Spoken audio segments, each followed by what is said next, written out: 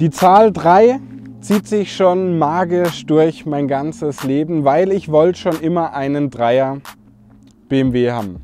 Außerdem ja, habe ich in der Schulstraße 13 gelebt als Kind und äh, meine Telefonnummer ging mit 3 los, 37621. Jetzt reicht das irgendwie nicht ganz zum Verschwörungstheoretiker à la Xavier Naidu oder wie heißt dieser verrückte vegane Koch und ich kann sagen, die Zahl 3 wird uns alle umbringen, Bill Gates will uns dreimal töten. Nein, es reicht allerdings für mein heutiges Review, denn hier steht der X3 als 30e. Ja, und das ist ein Plug-in-Hybrider SUV in der Kompaktklasse bzw. Mittelklasse, wie er hier steht. Ja, der ist ziemlich förderfähig aktuell, deshalb richtig was für die Allmanns von uns da draußen. Und ich äh, will euch den heute ganz gern vorstellen. Was werden wir also mit diesem Auto, was hier in der X-Line steht, zusammen machen? Wir schauen ihn uns außen an. Wir werden den historisch preislich einordnen. Ich werde mit euch auf die Rückbank springen. Wir werden über den Kofferraum sprechen, über die Lademöglichkeit, über die Reichweite, über den Motor, der da drin ist, über die Motoren, die es gibt in diesem Modell, über die Sinnhaftigkeit von diesem Modell. Wir werden natürlich fahren. Ich werde ein Fazit machen, eben alles, was euch und mich zu diesem Auto interessiert. Ja, und dann geht es jetzt auch los. Aber bevor es eigentlich losgeht, ist noch eine Sache, Falls euch dieses Auto zu teuer sein sollte, könnt ihr es natürlich leasen. Und wir haben eine Leasing-Vergleichsplattform dafür an der Hand, beziehungsweise eine Suchmaschine, die vergleicht und sucht für euch den garantiert besten Preis unter den Teilnehmplattformen wie Leasingmarkt, wie Null Leasing, wie Vehiculum. Das ist GoLeasy. Unter GoLeasy slash Autotester findet er dann den und in Verbindung mit einer Dienstwagenbesteuerung von 0,5% kann das sehr viel Sinn machen. Hier seid ihr gelandet bei www.demautotester.de, eurem verschwörungstheoretischen Autotester des Vertrauens. Ihr findet uns auf Instagram, Facebook, YouTube, TikTok. Abonniert am besten alles. Vor allem hier auf YouTube. Macht die Glocke an, macht mich und und euch froh ist meine Belohnung, euer Lohn, kann man das so sagen, ne? andersrum, unser Lohn, eure Belohnung. Ja, und dann geht es jetzt auch los mit mir und dem X3 ja, als 30e. Kommt mit.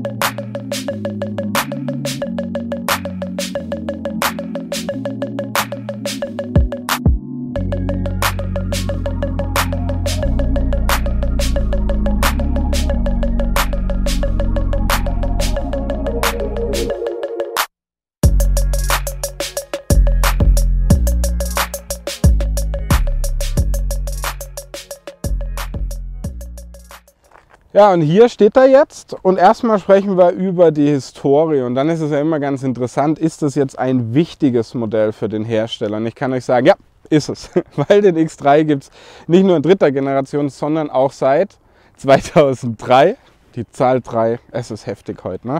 Ja, und der hat sich seit seiner Markteinführung etwa 300.000 Mal verkauft. Und er hat sich alleine im Jahr 2019, was sein erfolgreichstes Verkaufsjahr war, jetzt ratet mal, 30.000 Mal verkauft.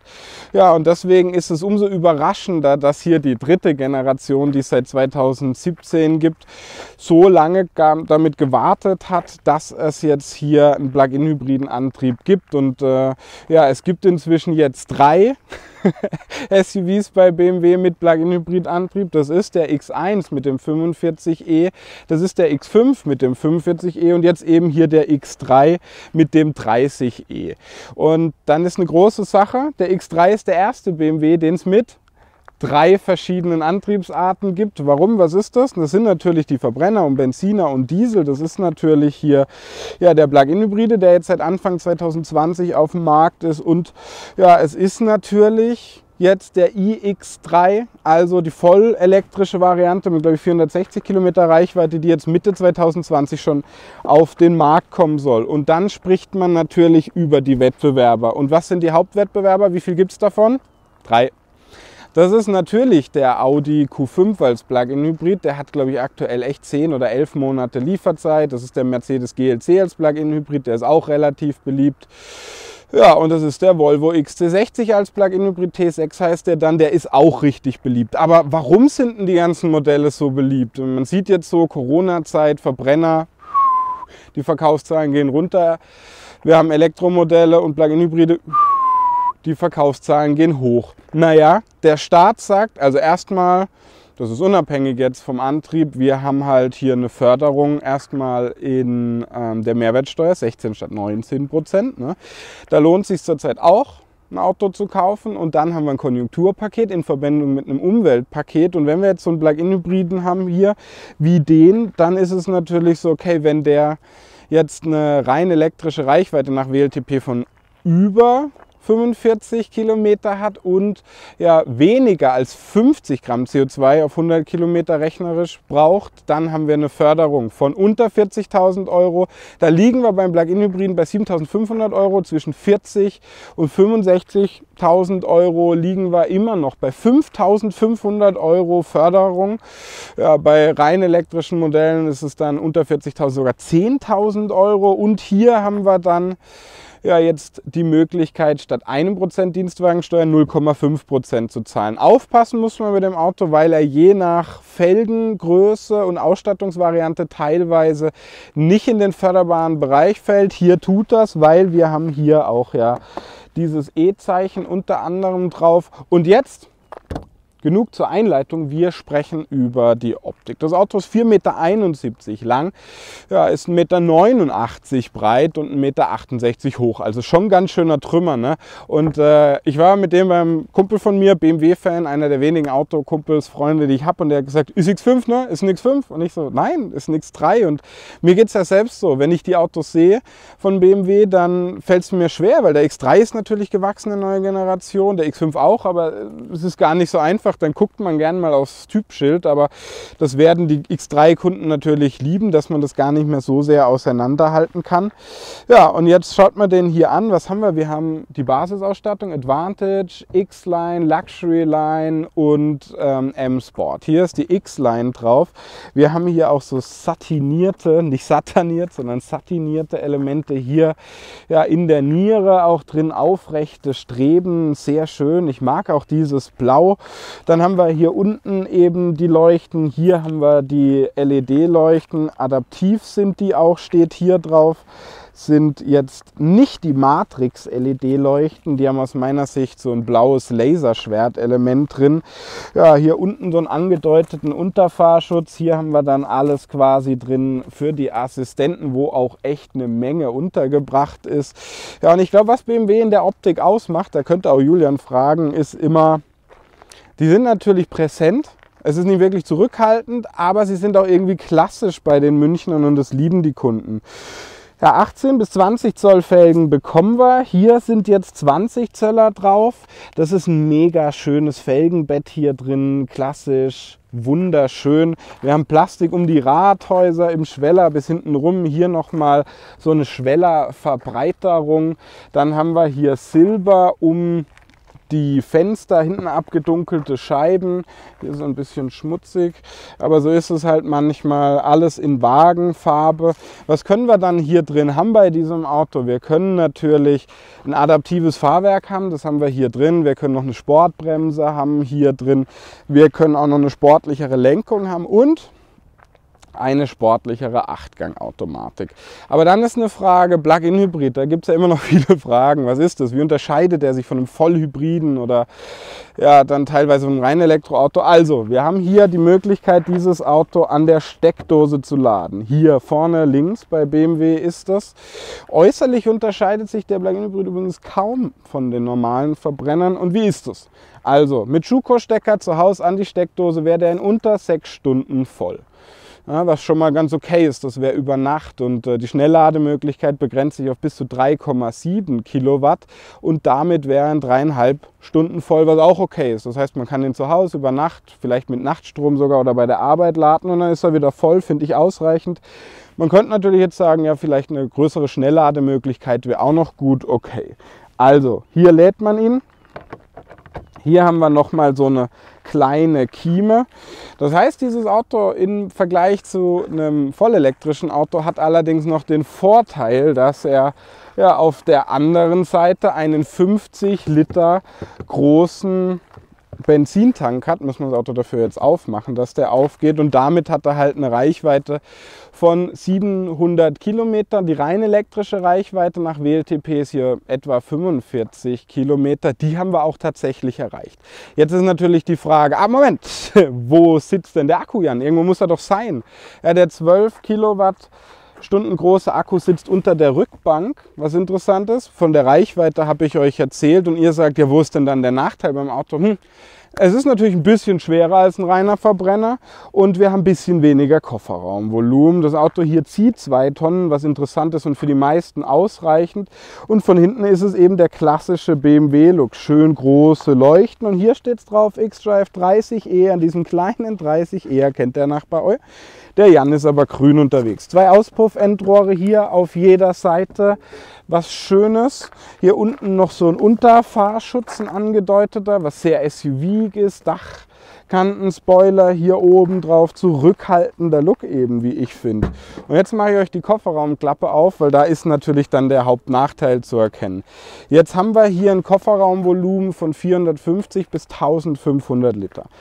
Ja, in den Verbrennervarianten sind das dann, glaube ich, 550 bis 1600 Liter. Wir haben hier, ja, seht ihr eben ein bisschen eine Erhöhung im Ladeboden. Hier ist er übrigens, der Schuko-Stecker zum Laden an der Steckdose. Da seht ihr einmal hier Steckdose, einmal hier vorne Outdoor, was praktisch ist. Und dann haben wir hier eben, ich packe euch das einfach noch schnell aus, bei diesem Stecker eben die Schnelllademöglichkeit und ihr seht das, was viele kritisieren und ich habe mit einem Volvo-Händler gesprochen, der gesagt, gern, wir bekommen die XT60 zurück. Die meisten haben noch nie den Stecker ausgepackt. Die haben das Auto also noch nie geladen, was ich richtig bescheuert finde, weil, sind wir mal ehrlich, dieses Auto ergibt nur dann Sinn, wenn man es auch an der Steckdose lädt. Ne? Ja, und dann haben wir hier noch so ein doppeltes Fach, da haben wir hier nochmal so ein Netz drin, was bei BMW halt immer ganz charmant ist, ist halt Premium. Ne? Das heißt, wir haben hier schön nochmal so eine Ladesicherung als Jalousie, die kann man auch rausmachen, schön unten verstauen. Dann haben wir hier nochmal eine Steckdose hinten drin, schönes. Ja, und dann ist natürlich auch schön und durchdacht, schaut mal hier, wir können auf beiden Seiten bequem wir einfach so Hebel hinten die Rückbank umklappen, haben dann kaum Ladeflächenverlust quasi. Das ist schon ganz gut. Ne?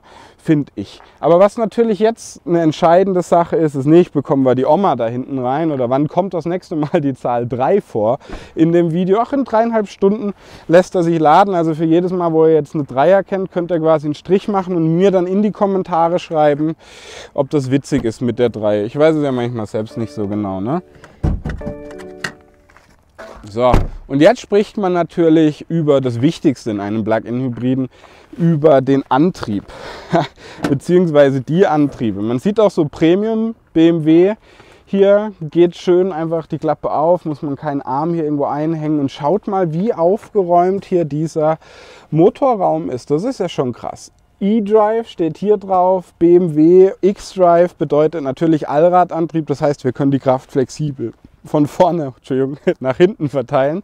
Ja, und jetzt hier drin. Erstmal, was haben wir? Die Basis bildet ein 2 Liter Verbrenner mit 184 PS, 300 Newtonmeter.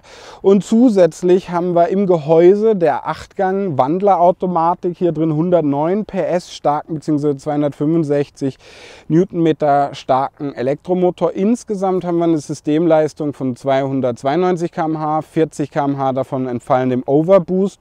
Ja, und das sind dann 420 Newtonmeter. Jetzt wiegt dieses Auto allerdings 2065 20 Kilo. Ist kein Leichtgewicht, ne, sondern hat eher so das Gewicht von, weiß nicht, wiegt ein Elefant zwei Tonnen?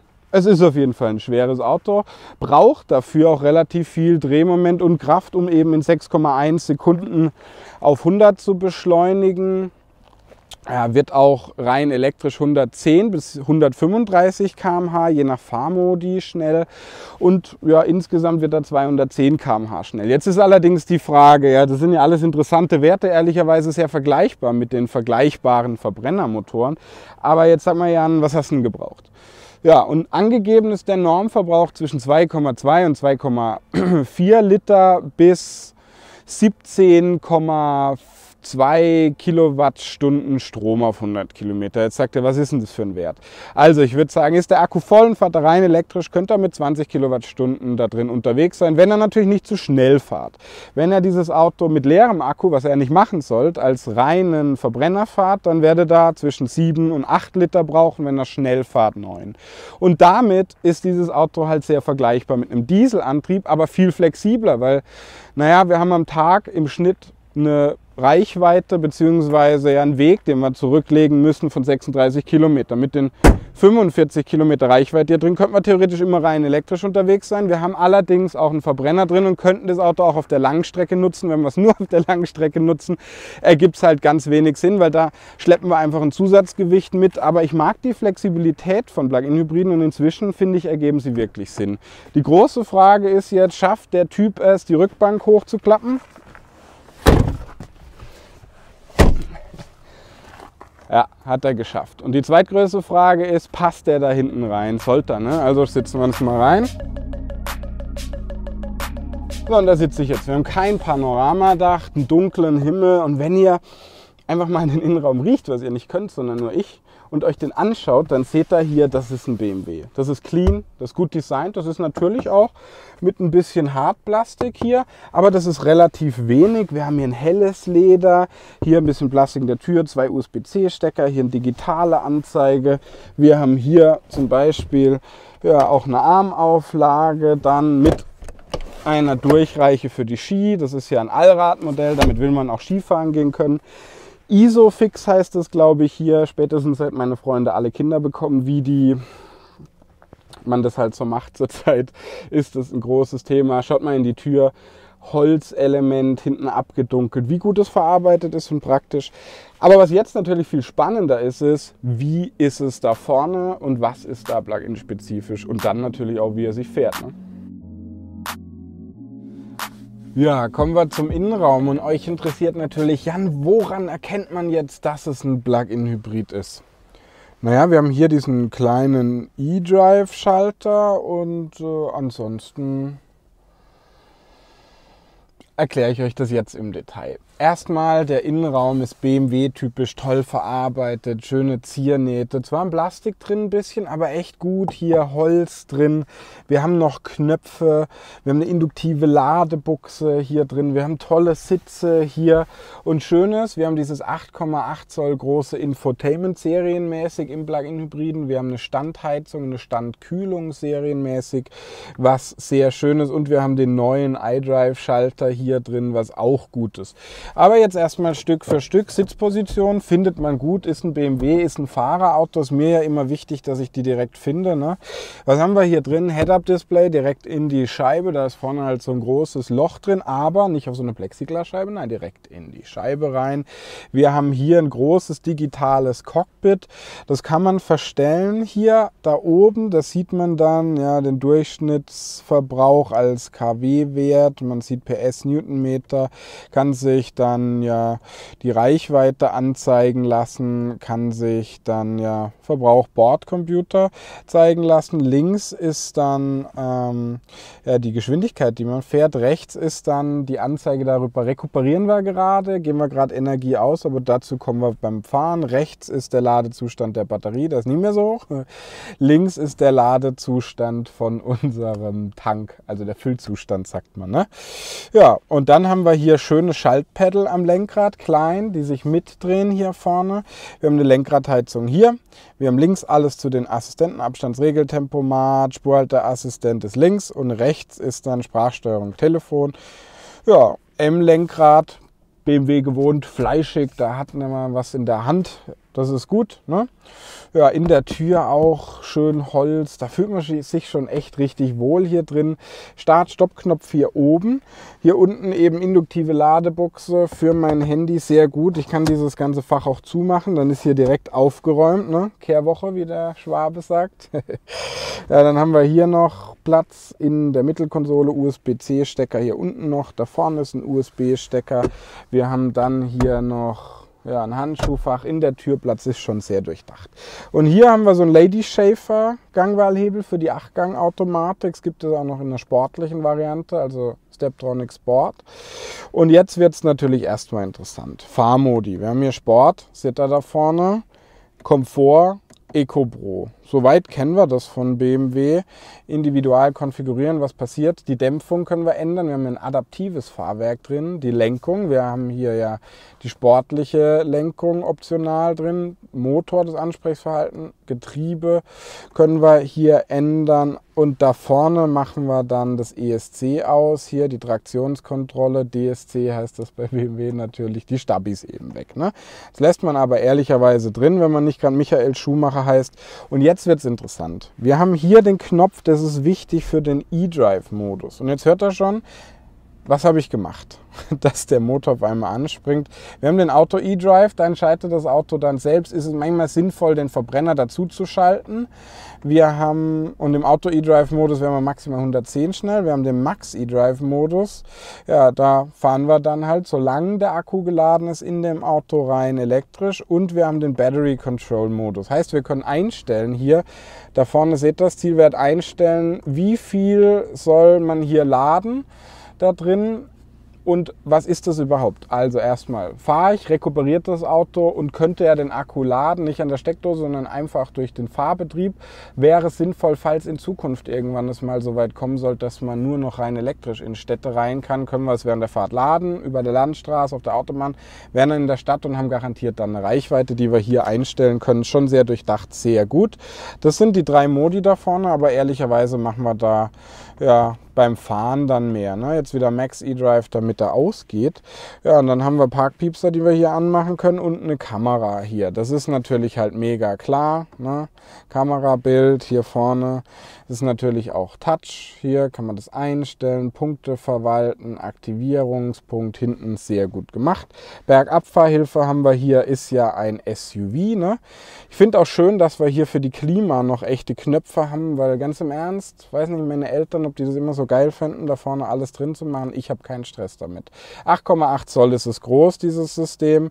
Wir haben hier auch quasi diese Ebene, wo wir uns individuell konfigurieren können. Wenn man dann länger drückt, kann man das dann einfach einstellen. Da ist ganz einfach, wie so ein Homescreen auf dem iPhone können wir das dann machen.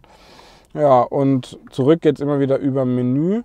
Und ihr seht allerdings, ich bin so ein alter Freak und Fan von diesem iDrive-Schalter. Ich fand den immer geil, ich habe den immer vermisst. Und was haben wir also? Media da oben, eine Online-Anbindung, dann Apple CarPlay, Android Auto natürlich sowieso Navi. Und jetzt, wenn man mal Suche eingibt, sieht man, was dieses System kann. Ich kann nämlich auf diesem Pad hier schreiben. Also ich schreibe jetzt ein H drauf. A, A, ein A, das ist mega geil, weil man es lenkt nicht vom Fahren ab, dieses System. Man braucht keine Sprachsteuerung. Ja, und das ist halt eben einfach gut. Ich habe mich da so dran gewöhnt. Ja, und dann haben wir Fahrinfo hier, die Fahrdaten zum Beispiel. Wir haben eine Sportanzeige hier, wir haben eine Offroad-Anzeige und eine Anzeige, die wir beim Fahren unbedingt zeigen müssen, die Energieflussanzeige. Vorne ist das Motor-Package, dann haben wir eine Lamellenkupplung, über die wir die flexibel die Kraft nach hinten bekommen. Ich hoffe, ich vergesse es später nicht. Fahrzeugstatus, Laden, Klima, Planen. Kann man hier das Laden planen, das Auto vorheizen oder vorkühlen. Wenn man weiß, man muss morgens um 5 los und es ist Winter, kann man das Auto eben auf eine gewisse Temperatur bringen. Wir haben auch verschiedene Fahrprofile und jetzt Apps sind halt mega geil. Man kann sich da hier irgendwie News vorlesen lassen. Schaut mal hier, man kann sich dann auch äh, ja, bei Charge Now anzeigen lassen, wo sind die letzten Ladestationen. Man kann sich dann auch im Navi anzeigen lassen, wo die nächsten Ladestationen sind. BMW Connected, Rettungsgasse. Und wir haben da einen eigenen App Store. Ist schon mega geil. Was ich jetzt noch unbedingt zeigen will, ist, wenn wir jetzt hier mal auf Menü gehen, Media, dann sehen wir hier Radio. Und jetzt passt mal auf. Dessen Stimme auch als Theologe ernst Gestensteuerung. Da sagte, oh, der feine Herr Weizenecker, Mensch, Gestensteuerung kann er. Ja, stimmt. Aber jetzt haben wir genug gepostet. Ne? Ich denke, dafür sind die Systeme auch oft da. Jetzt fahren wir einfach mal los. Ja, und ähm, jetzt war dieses Auto natürlich an. Und jetzt hört er, der Verbrenner geht an. Wir zwingen den aber mal im Max E-Drive-Modus elektrisch loszufahren. Und jetzt hört er, wir können losfahren und ihr hört erstmal nichts. Und das ist natürlich das Schöne an einem Plug-in-Hybriden, weil wir lautlos vor uns hingleiten können. Rückfahrkamera ist jetzt hier, dass ihr die auch mal seht. Wir müssen ja wenden hier im Schwarzwald. Gefahr beim Fahren steht nicht mehr, weil der Schwarzwald-Rambo, wie die verrückte, noch Rambo-mäßigere Bildzeitung ihn genannt hat, der ist ja weg. So, aber jetzt genug. Wir schalten jetzt mal einfach in den Auto-E-Drive-Modus. Der entscheidet für uns, da müssen wir nämlich gar nicht viel machen. Und was merken wir jetzt? Erstmal merken wir, wir sitzen hoch, wir haben fleischiges Lenkrad in der Hand, wir haben tolle Sitze und wir haben halt ein riesen Gefühl von Luxus und Sicherheit hier drin. Und das lieben die Leute eben halt an SUVs erstmal und dann merkt man im nächsten Schritt, wenn man hier so fährt, dass der sehr kultiviert ist. Und jetzt habe ich natürlich geguckt, 30i, 30D haben relativ vergleichbare Werte ähm, hier drin jetzt in der Beschleunigung, die werden allerdings 240 km/h schnell, haben auch einen Beschleunigungswert immer von um die 6 Sekunden auf 100 und dann sagt er, der hat 6,1, hat aber mehr PS, woran liegt es? Er wiegt eben 100 bis 200 Kilo, je nach Ausstattung, je nach Motorisierung, mehr als die reinen Verbrennerkollegen. Aber wenn man jetzt hier mal aufs Gas drückt, merkt man, Alter, der fährt sich richtig kultiviert. Der liegt satt auf der Straße mit dem adaptiven Fahrwerk hier und dann fragt man sich so ein bisschen, boah, ist der gut? Und das fühlt sich richtig gut an. Das Auto wiegt halt 2065 Kilo und jetzt erzähle ich euch mal eine verrückte Geschichte. So ein Range Rover Evoque ist echt kein Leichtgewicht. Aber die Leute lieben das Fahrgefühl da drin, weil der ist schwer, der liegt satt auf der Straße und jetzt haben wir natürlich einen BMW. Was macht BMW aus? Schalten wir hier also mal in den Sportmodus Modus zwingen wir also alles in diesem Auto auf Attacke, dann macht der richtig Spaß. Aber jetzt habe ich euch natürlich eine Sache vergessen einzustellen und wieder nicht eingehalten. Gehen wir zu Auto, Fahrzeuginfo, Fahrzeugstatus. Info, Energieflussanzeige. Und jetzt seht ihr hier schön, was passiert, welcher Motor arbeitet, wie bekommen wir die Kraft nach hinten da, wie ist der Füllzustand vom Akku. Und das ist halt eben nicht nur was für so technikverrückte Heizer wie teilweise mich, sondern eben auch was ja, für Technikverrückte eben. Weil da haben wir halt die Möglichkeit, auch die volle Rekuperation hier rauszufahren. So, Sportmodus eben alle sportlich hier drin, 420 Newtonmeter setzen auf Attacke, beschleunigen dieses Auto auf maximal 210. Aber das ist ja nett, dass er das kann. Eigentlich wollen wir ja mit diesem Auto hier schön ein bisschen Energie sparen. Also schalten wir hier mal auf den Eco-Modus Standard oder noch besser auf den E-Drive-Modus. Und da haben wir eben Auto E-Drive, da wird der 110 km/h maximal schnell und entscheidet dann immer, was ist jetzt gerade der sinnvolle Antrieb. Wir haben ein SUV, also eine gute Bodenfreiheit, heißt, wenn uns jetzt ein Traktor hier entgegenkommt, ja, können wir auch einfach mal so einen kleinen Hang hochfahren oder auch nicht und können eben ja, schön dann flexibel über den Berg fahren. So ist der Wendekreis, der ist natürlich echt ganz gut. Ne? Und jetzt habt ihr hier wieder die Energieflussanzeige und das Auto entscheidet jetzt zum Beispiel, wenn ich einen Kickdown mache, kommt der Verbrenner dann dazu. Mache ich es nicht und ist der Ladezustand vom Akku groß genug, ja, entscheidet der sich hier drin halt natürlich definitiv dann für die reine E-Variante, nachdem wie schnell wir sind. Und jetzt machen wir da vorne eben Max E-Drive. Also wird alles gezwungen hier drin, dass wir sagen, ja, okay, also rein elektrisch, jetzt wird er 135 km/h schnell und jetzt gleiten wir halt eben schön vor uns hin. Wenn wir dann beim E-Drive-Modus Battery Control machen, merken wir schon, dann geht der Verbrenner eher an. Ziel wäre jetzt 100% Füllzustand, was spannend ist. Und dann haben wir halt eben noch zusätzlich den Adaptive-Modus hier, Vorschauen, vorausschauende Abstimmung des Fahrzeugs. Da müssen wir gar nichts machen, was viele auch schön finden. Haben den Sportmodus hier drin. Ich fahre immer in dem ehrlicherweise. Ja, und dann kann man hier richtig Spaß haben. Und ich habe es euch ja schon gesagt, das Fahrwerk fühlt sich gut an. Die 8-Gang-Wandlerautomatik hier drin ist nahezu perfekt. Da kann und will ich überhaupt nicht mäkeln. Das Fahrwerk kann weicher werden, kann härter werden. Da haben wir halt echt eine gute Abstimmung. Die Lenkung ist toll ist auch flexibel hier drin. Was mir sehr gut gefällt, ist ein BMW, ist im Segment mit Porsche wahrscheinlich bei den SUVs und generell der fahrdynamischste Hersteller. Ja, und dann ist natürlich eine große Sache, ja, okay, Jan, was hast du gebraucht? Dass der BMW hier sportlich ist, haben wir erwartet. Und dann waren wir hier drin halt nahezu immer, wenn wir rein elektrisch gefahren sind, das macht echt auch Spaß, hier hin und her zu switchen, ja, bei etwa 20 Kilowattstunden auf 100 Kilometer. Waren wir allerdings in so einem Mischbetrieb, dann waren wir manchmal, ja, und das war dann ganz unterschiedlich, je nachdem, wie unser Fahrprofil eben war ja, zwischen, was soll ich sagen, wirklich drei bis sieben Liter ne, unterwegs. Wenn wir dann den Verbrenner in dem Sportmodus, wie hier jetzt reingemacht haben, dann waren wir halt dann auch mal auf neun Liter, wenn wir richtig Spaß haben wollten. Und da sieht man dann halt tatsächlich ganz schön, oh, es macht halt wirklich einen Unterschied, wie ich fahre, wie ich meinen Gasfuß einsetze, ob ich dieses Auto lade oder nicht. Und ähm, ja, mir ist es halt immer wichtig, wenn ihr einen Plug-in-Hybriden kauft, dann müsst ihr den natürlich so oft wie möglich an der Steckdose laden. Wenn ihr das nicht macht, dann ergibt dieses Auto einfach gar nicht so viel Sinn.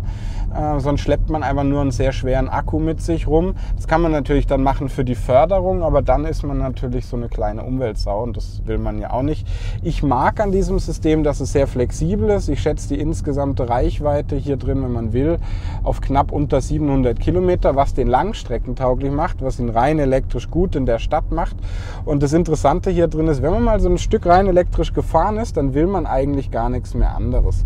Und dann haben wir hier den X-Drive drin bei BMW, der ist relativ bewährt. Dieses Auto klebt in der Kurve, leicht hecklastig abgestimmt, heißt, wir bekommen auch, wenn wir ganz schnell fahren, leichte Driftwinkel zu. Was auch schön ist, ja, der liegt auf der Straße ehrlicherweise, obwohl es ein SUV ist, wie so ein kleines Brett. Ne? Da haben wir eigentlich nicht das Problem mit hohen Wank Bewegungen hier drin. Und das ist jetzt halt auch schön. Ne? Das sind kompakte Ausmaße. Mit einem X5 hätten wir es hier jetzt in so einer engen Stelle schon eher schwer gehabt. Bei den Assistenten ist halt mit einer Schildererkennung, mit einem Abstandsregeltempomat, mit einer Spurhalte, mit einem Spurhalteassistent, mit natürlich einem toten Winkelwarner, alles drin, um teilautonom Level 2 zu fahren. Ja, und jetzt sind wir hier auf dieser Straße und dann merken wir halt, oh, BMW, das macht halt Spaß. Das ist noch so echt Freude durchfahren oder wie war der Slogan? Mir gefällt dieses Auto wirklich von der Abstimmung ausgesprochen gut. 420 Newtonmeter sind halt auch wirklich eine Wucht.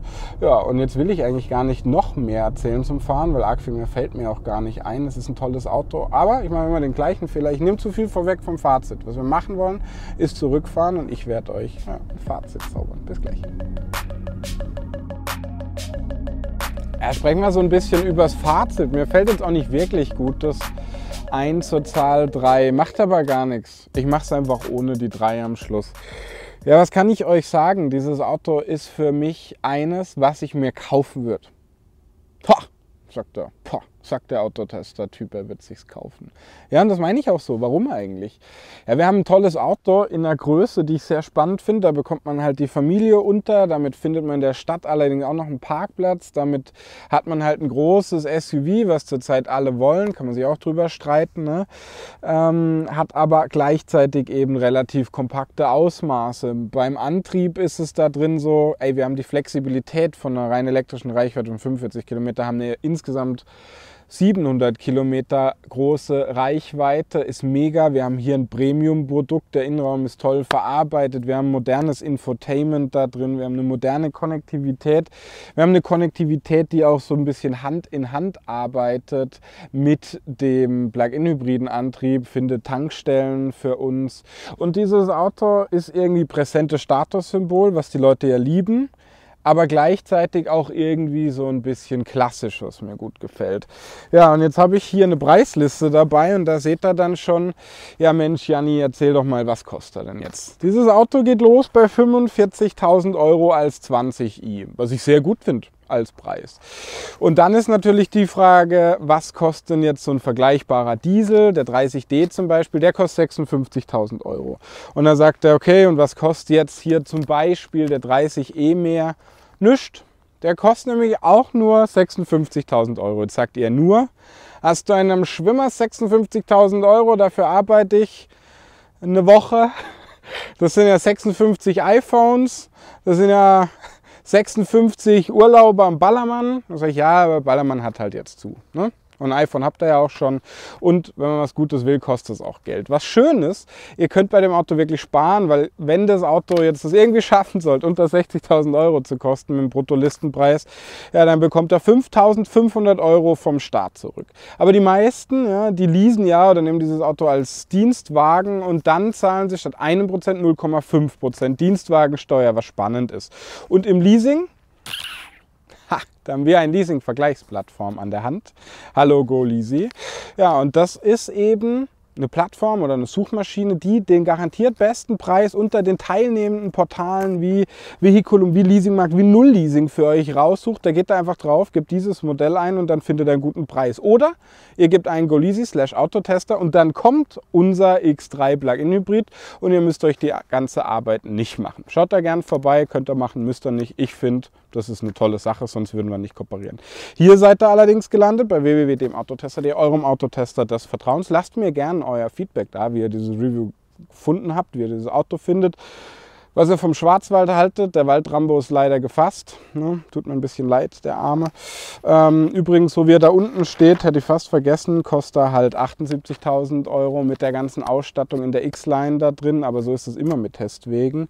Ja, abonniert uns auf Instagram, Facebook, YouTube, TikTok, macht die Glocke an. Vor allem hier auf YouTube würde mich sehr freuen. Das ist unsere Belohnung und euer Lohn oder andersrum. Ich bedanke mich für euch, für euch, bei euch und bis bald in einem anderen Zirkus.